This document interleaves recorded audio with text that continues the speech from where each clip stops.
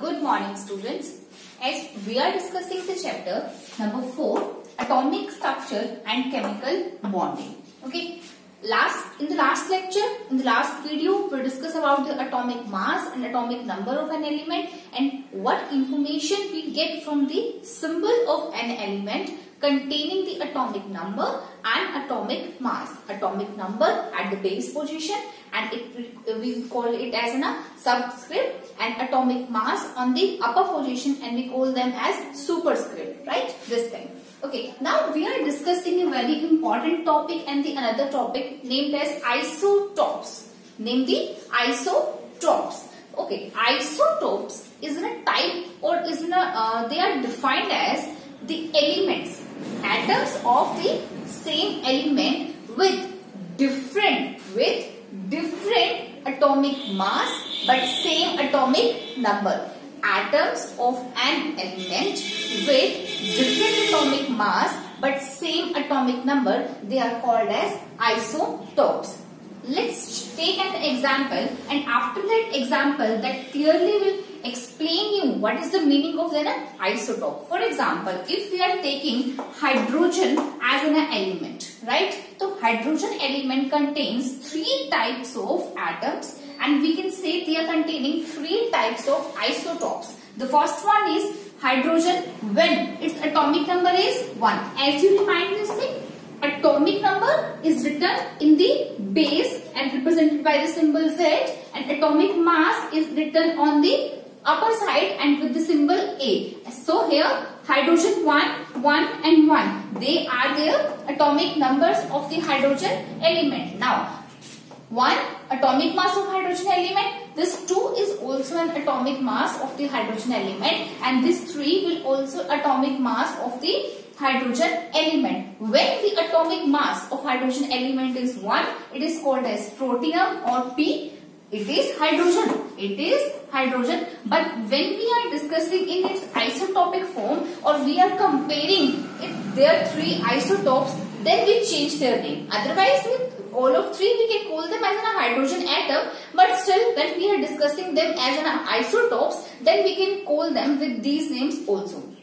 Okay, when atomic mass of hydrogen atom is 2, it is called as deuterium and you can represent it with the symbol D. You can represent it with the symbol D. Now, when atomic mass of the hydrogen atom is 3, this is called as tritium. This is called as tritium and represented by the symbol T. Represented by the symbol T. Okay, you know what? Um, many elements in the uh, periodic table contain their isotopes. It means they have their same atomic numbers but different atomic masses. They all have their same atomic numbers but different atomic masses. Let's discuss the another example that is of carbon. That is of carbon element and this carbon element also contains three different atoms or we can say it have three isotopes. Three isotopes which have same atomic number. With the same atomic number 6 6 and 6 you see here they have all same atomic number but different atomic mass. Different atomic mass. First one getting the 12 13 and then 14 first is 12 then 13 and then finally 14 its atomic mass. Now next example is of chlorine next example is of chlorine atom as you know atomic number of chlorine atom is 17 atomic number of fluorine is 17 this is 17 and here comes also 17 and atomic mass of chlorine atom is 35 and here comes it 37 so the chlorine atom shows two isotopes. Carbon will show three isotopes. Same hydrogen will show three isotopes. Understand this thing? This is clear to you all? Now Moving on to its their properties and the other things. Look, if we are talking about the chemical properties, how one isotopes react with the other atom. Again, another isotopes, how it will react with the another atom. Again, next isotope, how it will react with the other atom. To understand its concept of chemical property, first you need to understand what is the difference between these isotopes. What is the difference between these isotopes as we see there is a difference in their atomic number. As we see, there is a difference in their, sorry, atomic mass, not atomic number. There is a difference in their atomic mass. And in the last lecture, we discussed what is the meaning of atomic mass here. If we are talking about the atomic mass, the atomic mass equals to this atomic mass represented by the symbol A. This will equals to number of protons plus number of neutrons. Number of protons plus number of neutrons. Let's talk about hydrogen atom. If we are talking about hydrogen atom, atomic number 1, isotope number 1, this atomic number 1, here comes 2, atomic number 1, here comes 3. And last lecture we discussed this thing also, atomic number will represent number of proton present. Atomic number will represent number of proton present and here we see number of proton present in all these three hydrogen atoms.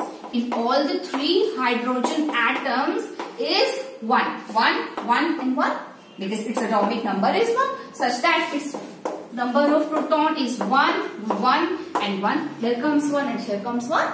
So it means if the atomic number value. If we are talking about the atomic mass, let's discuss about the atomic mass now. Atomic mass is 1. It means this contain proton 1 plus number of neutron equals to 0. Equation will solve by this because 1 is equals to this atomic mass equals to number of neutrons plus protons.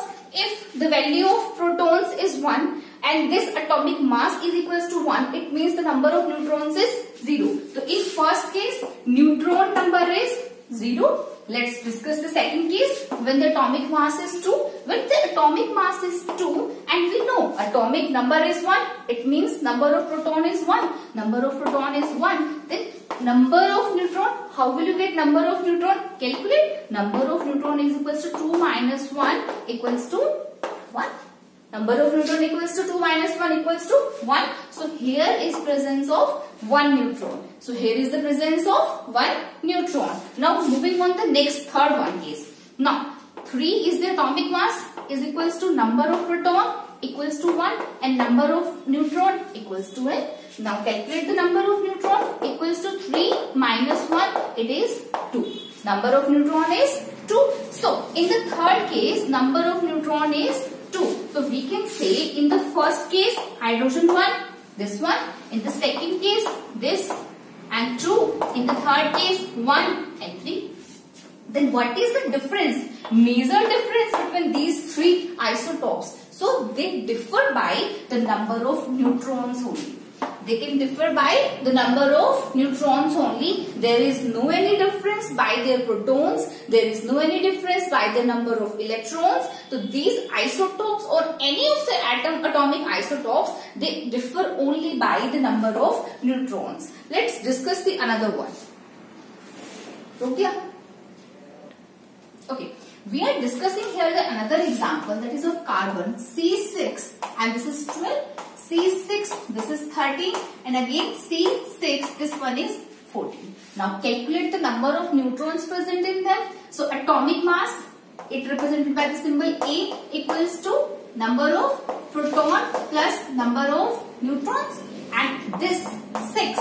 6 is the atomic number that is equals to Z and that equal to number of proton that we discussed. That is the number of protons. So simply now atomic mass is 12, number of proton is 6, the number of neutron n value is 6 only. In the second case, if we discuss the second case, C6 and this is 13 wala, then atomic mass 13 is equals to 6 plus n. So n value is equals to 7. Understand this thing? Now next move, 6 and this is 14. Again 14 equals to 6 plus n. The value of n is 8 here. So the difference is only that this atomic C6 and 12 carbon atom C6 and 12 will get 6 neutron carbon atom 6 and 13 will get 7 neutron and carbon atom 6 and 14 will get 8 electron only 8 neutrons only. So there is no any difference by the number of protons. There is no any difference by the number of electrons. So the difference is by the number of neutrons only.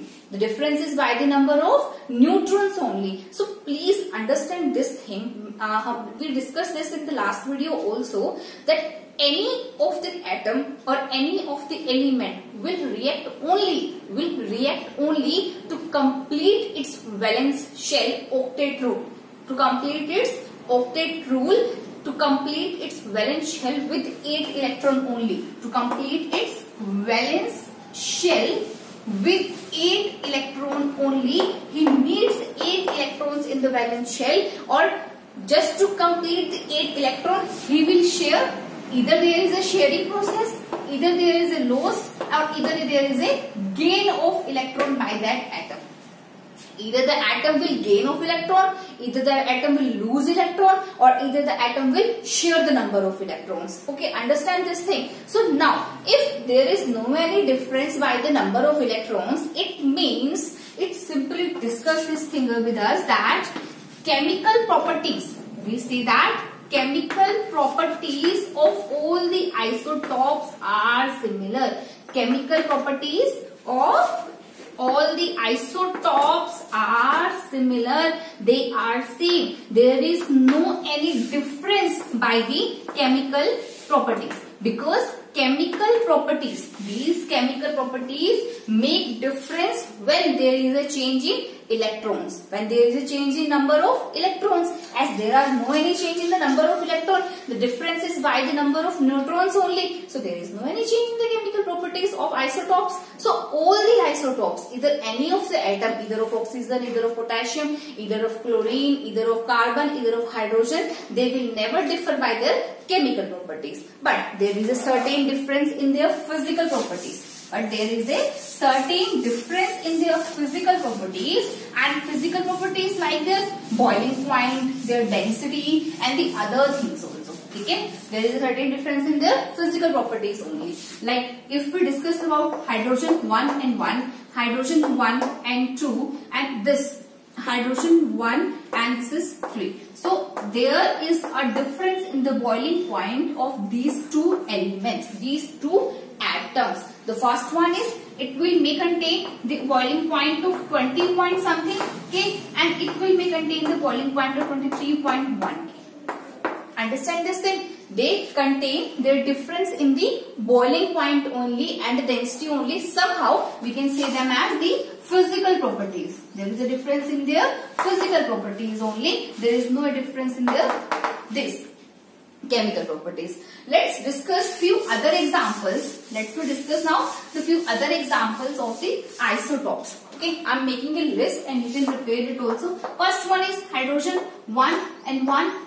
Second isotope is 1 and 2. Third isotope is 1 and 3. Now, second is, second one is carbon C6 12, C6 and this is 13, C6 and this is 14. Now third one is, what is the third one isotope? Fluorine. This is 17 and 35. This is fluorine 17 and 37. Now fourth one is oxygen 8, 16, oxygen 8 and this is 18. Now next one is potassium 19. This is again potassium 19. So atomic mass of potassium is Atomic mass of potassium is 40. So it is 38 and 40. Two isotopes are there. One is the 38 one and second one is the 40 there. Okay, understand this thing. Actually, this is not 40. This is of 39. This is 39. So two isotopes are there. One is 38 and second one is the 39. So next we move on the topic that is isobars. That is isobars. Let's discuss the topic isobars. I hope this topic isotopes is clear to you all now. Let's discuss another topic that is related to the previous topic that is of isotopes. Now, isobars. Isobars same with the isotopes are the elements having the same. They are having the same. Now, same atomic mass. Same atomic mass but they differ but they differ by atomic number. But they differ by their atomic number. Isobars are the elements. They differ by their atomic number but have the same atomic mass. Let's take an example. We are discussing about calcium and argon.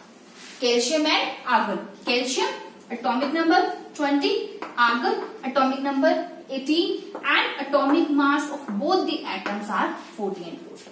Atomic mass of both the elements are 40 and 40. So here they will differ by their atomic numbers and having same atomic mass. They will differ by their atomic numbers and have same atomic masses that is of 40 and 40. This is the concept of isobars. If uh, अगर मैं इससे अलग से कुछ बताऊँ ना तो उसमें ये चीज़ था एक ट्रिक है छोटा सा this is X right Z हमने यहाँ लिखा एंड ए हम लोगों ने यहाँ लिख दिया। ना अगर मैं बात कर रही हूँ किसके लिए? आइसोटॉप के लिए, ठीक है?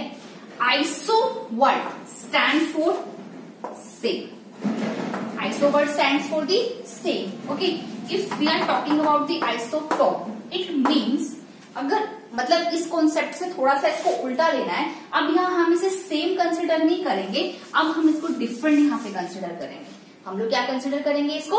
डिफरेंट आइसोटॉप टॉप माने टॉप पोजीशन आइसोटॉप में क्या था? उसकी अगर डेफिनेशन की बात करें तो उसमें ट्रिक क्या था आपके पास में? कि जो आपका अटोमिक नंबर है will remain the same but top will change but the atomic mass will change ना?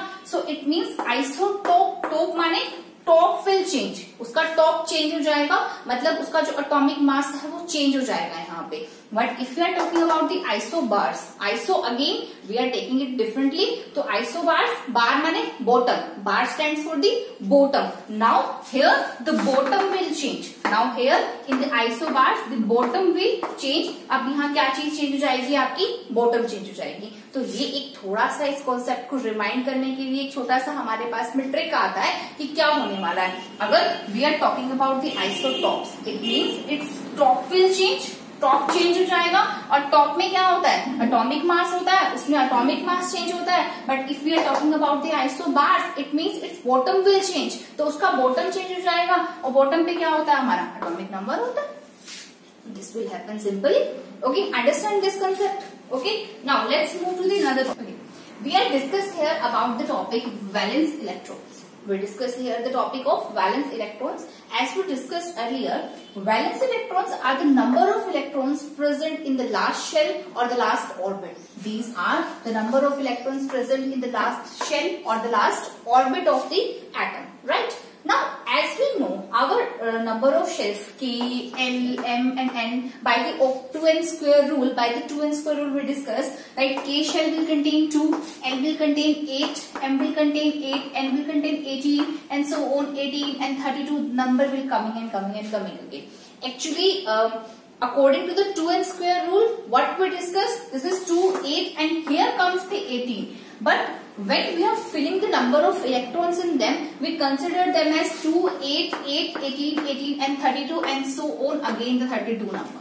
Okay, that will you uh, learn how this filling will occur in the higher classes. But uh, please remember this thing for now and do not get confused with the past video that it is 2, 8, 8, 18, 18, 32 and 32 only. Understand this thing. Let's uh, now filling the number of electrons in their atomic orbitals or in their atomic shells. Now discuss this thing.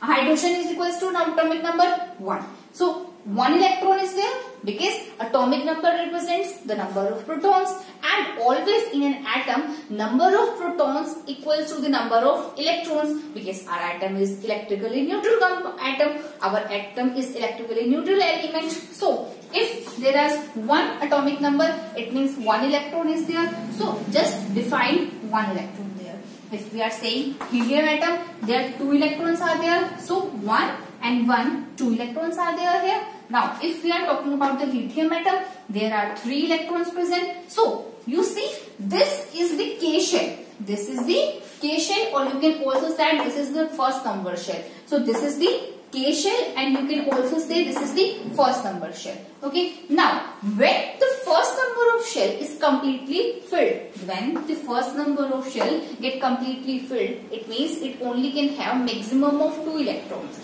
We discussed this thing that it will only get have maximum of two electrons if that maximum amount of two electrons get filled then the shell will move to the electron will move to the next orbit or the next shell then only the electron will move to the next orbit or the next shell of that atom. For example, one electron is there in helium, two electrons are present and two get filled in the K shell. Now, K shell does not have space for the another electron and electron will move to the another shell that is the shell number 2 or the L shell. Okay, so there is one and one two electron so remember this thing पहले आपको inner most shell को fill करना है, उसके बाद ही आपको next shell पे जाना है। कल भी हम लोगों ने इस चीज़ को डिस्कस किया था कि जो फिलिंग ऑफ़ आपका इलेक्ट्रॉन्स है, वो इनर मोस्ट शेल से स्टार्ट करेगा then it will go to the higher shells first you start with one then two then three then four then five and so on up to the other level okay K, L, M and N then you move on to the another level. Understand this thing? So सबसे पहले कहाँ filling होगा? K shell में filling होगा. If there are three number of electrons then first you have to fill the innermost shell. Two electrons are there. Then move on to the next one. That is this. There are the number of electrons other present. Now beryllium is it have the number of electron 4. Then 2 must be coming in the K shell and next 2 will go to the another shell. So 1 and 1 2 and 2 and 2 4 number of electron get complete here. Now we are moving to the another slide.